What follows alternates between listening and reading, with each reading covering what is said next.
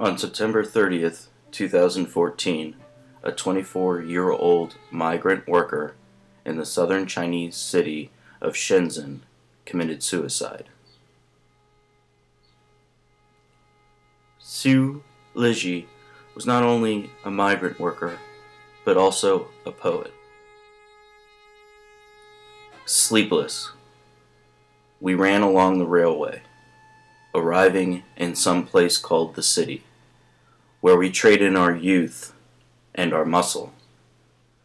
Finally, we have nothing to trade, only a cough, and a skeleton nobody cares about.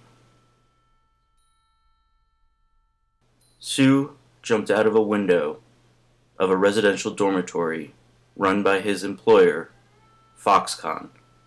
Foxconn manufactures smartphones, game consoles, ebook readers, and tablets. I swallowed a moon made of iron. I swallowed a moon made of iron. They refer to it as a nail.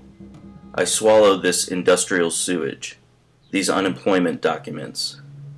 Youth stooped at machines die before their time.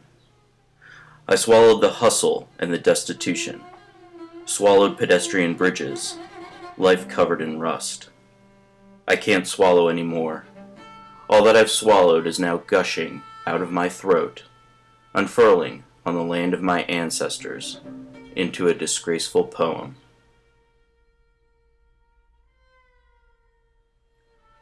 There have been a large number of suicides among Foxconn employees.